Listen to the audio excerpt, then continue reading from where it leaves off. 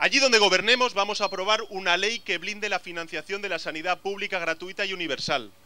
Dos, dos, vamos a restablecer la cartera, la cartera única de prestaciones sanitarias y vamos a derogar esa decisión injusta de excluir medicamentos de la cobertura pública que aprobó el Partido Popular toda esa gente joven y menos joven, de más de 40 años y de 50 años que están trabajando fuera de España. Lo que haremos será quitar esa decisión injusta que aprobó el Partido Popular de que la tarjeta sanitaria solamente sea válida durante 90 días fuera de España. Quitaremos esa decisión injusta por el Partido Popular. Y, y la última.